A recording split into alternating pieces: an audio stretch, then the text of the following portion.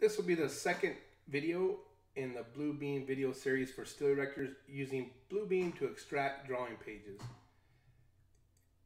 In the last video, we went over creating page labels.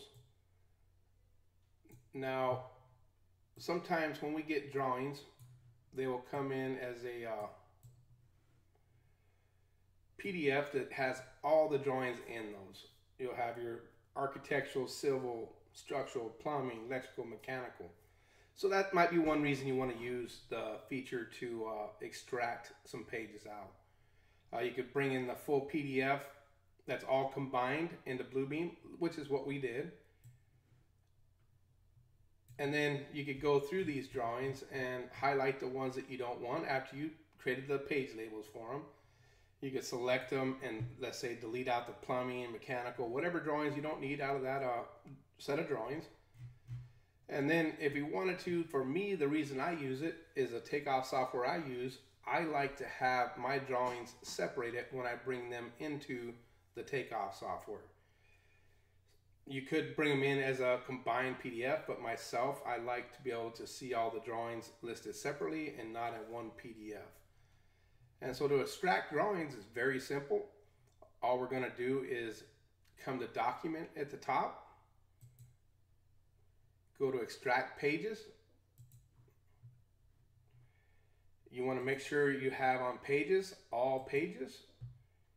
Extract pages as separate files, check mark that.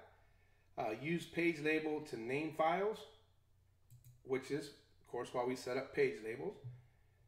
And then it's just a matter of hitting OK at that point. I always It always has update hyperlinks to relative paths, check mark to always uncheck mark it. The only thing I'm going to be check marking is extract pages as separate files and use page labels to name files. Then we just say OK. I will navigate to a folder that I created within for that project. And I will call that folder, I already created it, I call that folder the name of the project, separated plans. Select it.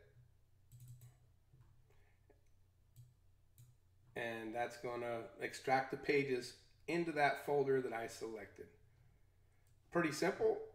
Now if I come back over here, bring this folder file over here, you'll see now we have those drawings separated in that folder and here's a set that was the full complete set all combined.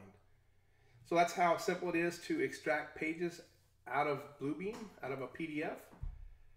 Hope you got some value out of this. Uh, we'll see you in the next video.